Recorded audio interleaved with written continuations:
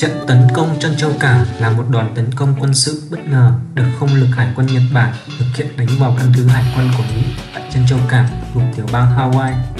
Cuộc tấn công là sự kiện lớn trong chiến tranh thế giới thứ hai. Nó đã diễn ra khi không có bất cứ một lời tuyên chiến chính thức nào được đưa ra và đặc biệt là bản chất bất ngờ của nó là hai nhân tố khiến cho công chúng Mỹ thay đổi quan điểm từ người theo chủ nghĩa biện lập sang ủng hộ việc Mỹ tham chiến Nhật Bản đã không đưa ra bất cứ một lời tuyên chiến chính thức nào trước khi tấn công Trân Châu Cảng, trong khi hai quốc gia vẫn còn đang giữ giai đoạn đàm phán hòa bình. Vì thế, cuộc tấn công bất ngờ này bị dư luận quốc tế xem là cuộc đánh lén. Tổng thống Mỹ Franklin Roosevelt phải tuyên bố rằng ngày 17 tháng 12 năm 1941 là ngày sẽ sống mãi trong sự ô nhục. Ngược dòng thời gian trở về với bối cảnh lịch sử trước trận chiến, vào năm 1931, đế chế Nhật Hoàng đã mở rộng bành trướng với các cuộc xâm lược Mãn Châu, Lý rồi chiếm tới một phần rộng lớn lãnh thổ Trung Quốc. Vào những năm 1940, quân đội Nhật Bản đã gia nhập liên minh với Đức, Ý và tạo thành khối trục để bành trướng ra các mặt trận ở châu Âu. Đối với Nhật Bản, với mục tiêu mở rộng tìm kiếm nguồn tài nguyên, nước này tiếp tục cuộc chinh phục thôn tính châu Á và xâm chiếm những nước đang là thuộc địa của Pháp và điển hình là khu vực Đông Dương.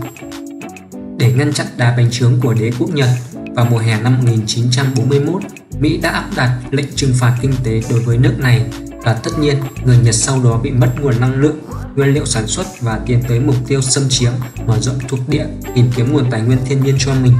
Trong khi đó, nước Mỹ đang ở vào thời kỳ phồn thịnh kinh tế, người dân không muốn có chiến tranh. Chính phủ Mỹ ban đầu còn dè dặt không muốn nhảy vào các mặt trận tại châu Âu cũng như mặt trận tại Thái Bình Dương Nói tới khu vực Thái Bình Dương, Trân Châu Cảng là địa danh lịch sử nổi tiếng nhất của quần đảo Hawaii. Hải cảng nước sâu này nằm ở phía tây thành phố Honolulu trên đảo Oahu, giữa vùng Bắc Thái Bình Dương và có điều kiện tự nhiên lý tưởng để bảo vệ hạm đội chống lại mọi sự tấn công từ bên ngoài. Bên cạnh đó, nơi đây còn có vị trí chiến lược cực kỳ quan trọng đối với toàn bộ vùng Bắc Thái Bình Dương. Do nằm ở vị trí đắc địa, Trân Châu Cảng sớm được người Mỹ sử dụng làm căn cứ chỉ huy, căn cứ hậu cần là cơ sở bảo dưỡng, sửa chữa các chiến hạm của hạm đội Thái Bình Dương. Từ căn cứ này, Hải quân Mỹ có thể khống chế toàn bộ vùng Bắc Thái Bình Dương bằng các lực lượng tàu nổi, tàu ngầm và không quân của hạm đội, đồng thời chống lại mọi sự tấn công từ bên ngoài. Nếu như đối với nước Mỹ, Trân Châu Cảng và Midway là hai bàn đạp quan trọng nối tiếp nhau để vươn sang lục địa châu Á, thì đối với Nhật Bản, Trân Châu Cảng là bàn đạp để tiến đến Mỹ và toàn bộ lục địa Bắc Mỹ nhưng theo tính toán, Nhật Bản chỉ đủ sức làm tê liệt hạm đội Thái Bình Dương của Mỹ trong một khoảng thời gian vừa đủ để họ có thể rảnh tay đánh chiếm toàn bộ vùng bờ biển và các quần đảo Tây Thái Bình Dương, uy hiếp Ấn Độ và Australia để lùi ảnh hưởng của Mỹ khỏi châu Á, chia đôi Thái Bình Dương với Mỹ trong một thế cân bằng chiến lược mới ở đại dương rộng nhất thế giới này, tiến tới thực hiện hóa học thuyết Đại Đông Á. Có lẽ không làm gì là một lựa chọn chiến lược khả thi và đôi khi là tốt nhất đối với quân đội Nhật Bản nhưng chính quyền Tokyo lúc đó lại tính toán rằng cuộc tấn công bất ngờ nhằm vào chân châu cảng sẽ ngăn ngừa và giữ chân hạm đội Thái Bình Dương của Mỹ không can thiệp đến chiến lược mà Nhật Bản đang hoạch định nhằm xâm chiếm Đông Nam Á và các quốc gia ở châu Âu. Và nhìn lại lịch sử, có lẽ đây là nguyên nhân lớn khiến Nhật Bản nói riêng và phe Pháp xít nói chung thất bại trong chiến tranh thế giới thứ hai. Thay vì khiến người Mỹ bị đánh đòn phủ đầu, làm cho nản lòng để Nhật Bản có thể tiếp tục chinh phục Đông Nam Á mà không bị can thiệp thì nó lại phản tác dụng và đi ngược lại với dự tính ban đầu. Kế hoạch đoàn tấn công của Nhật Bản ban đầu được chủ tính sẽ vô hiệu hóa hạm đội Thái Bình Dương của Mỹ, nhờ đó bảo vệ cho kế hoạch xâm lược của mình, nơi mà người Nhật đang tìm kiếm các nguồn nguyên liệu thiên nhiên như dầu mỏ và cao su ở đó.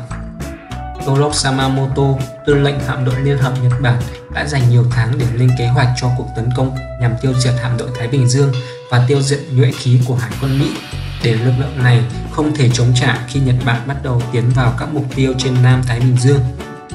Sau khi nắm được tình hình và cân nhắc kỹ thông tin tình báo, các quan chức Nhật Bản quyết định lựa chọn cuộc tấn công vào sáng Chủ nhật ngày 7 tháng 12 năm 1941 vì sáng Chủ nhật, nhiều lính Mỹ sẽ đến nhà thờ, sẽ mất thời gian chạy đến vị trí chiến đấu để thực hiện phòng thủ, tấn công đáp trả lực lượng Nhật Bản. Thêm nữa, vào cuối tuần, binh sĩ Mỹ thường nghỉ ngơi, thư giãn và ít đề phòng hơn những ngày khác. Vâng, đúng như dự đoán, vào thời điểm diễn ra cuộc tấn công, một số binh lính Mỹ vẫn đang ngủ nên đã thực hiện cuộc phản công chậm hơn so với bình thường và cuộc tấn công bất ngờ đã khiến lực lượng Mỹ tại chân châu cảng tổn thất lớn, làm thay đổi đáng kể cục diện của chiến tranh thế giới thứ hai và đặc biệt ở Thái Bình Dương. Máy bay cường kích Nhật Bản bay qua các quần đảo của Mỹ ở Thái Bình Dương và dội bom xuống căn cứ chân châu cảng và các điểm phòng thủ chiến lược khác của Mỹ ở Thái Bình Dương Cuộc tấn công kéo dài 90 phút đã để lại hậu quả là gần 2.400 người binh sĩ và thủy thủ Mỹ thiệt mạng, hơn 1.000 người khác bị thương. Cuộc tấn công cũng đã đánh chìm và làm thiệt hại nặng 18 tàu chiến lớn, đánh đắm 19 tàu chiến khác và phá hủy 232 máy bay chiến đấu của Mỹ đỗ tại sân bay. Thiệt hại về phía Nhật Bản thì nhỏ hơn, chỉ mất 29 máy bay và 4 tàu ngầm nhỏ và 65 người thiệt mạng. Ngoài ra, các lực lượng Nhật Bản tiếp tục đánh chiếm một loạt cơ sở hiện tại và thuộc địa cũ của phương Tây vào đầu những năm 1942, bao gồm Miến Điện, Đông Ấn và Philippines, cho phép họ tiếp cận những nguồn tài nguyên thiên nhiên phong phú của các đảo bao gồm dầu mỏ và cao su.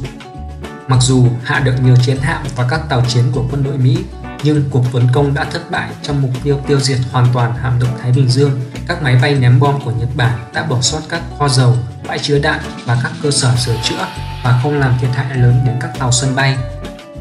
Ngay khi cuộc tấn công chân cả kết thúc, đô đốc hải quân Nhật Bản Yamamoto đã cảm nhận được những khó khăn nước Nhật sẽ phải đối mặt và đúng như dự tính, cuộc tấn công đã kéo nước Mỹ vào chiến tranh thế giới thứ hai. Tháng 8 năm 1945, khi Nhật Bản đứng trước viễn cảnh bại trận, nước Mỹ đã thả hai quả bom nguyên tử xuống Hiroshima và Nagasaki để tàn phá nước Nhật như một cách phục thù cho trận chiến ở chân Cảng. Nó đã khiến 140.000 người dân thành phố Hiroshima thiệt mạng, còn ở Nagasaki là 70.000 người thiệt mạng. Cơ sở hạ tầng của Nhật Bản đã trở về thời kỳ đồ đá và để lại hậu quả nặng nề và trở thành đòn đáp trả tàn nhẫn nhất mà Nhật Bản phải hứng chịu từ Mỹ. Chiến tranh thế giới thứ hai kết thúc khi Nhật Bản chính thức đầu hàng vào ngày 2 tháng 9 năm 1945 sau khi quân đồng minh rút khỏi Nhật Bản. Mối quan hệ Mỹ-Nhật được xem là bình đẳng hơn Đến ngày 19 tháng 1 năm 1960, hai nước Mỹ, Nhật đã ký hiệp ước đồng minh thân thiện và từ đó đến nay, Nhật Bản vẫn là đồng minh thân cận nhất của Mỹ tại Đông Á. Nhìn lại thời kỳ chiến tranh tại chân châu cảng, cho đến nay địa điểm này vẫn hoạt động bình thường, những con tàu chiến, những hàng không mẫu hạm vẫn ra vào cảng bình thường và quần đảo Hawaii hiện giờ đã trở thành địa điểm du lịch nổi tiếng, thu hút khách du lịch từ khắp nơi trên thế giới đổ về. Du khách tới đây không chỉ với mục đích tham quan mà còn để tìm hiểu thêm một phần lịch sử về nước Mỹ.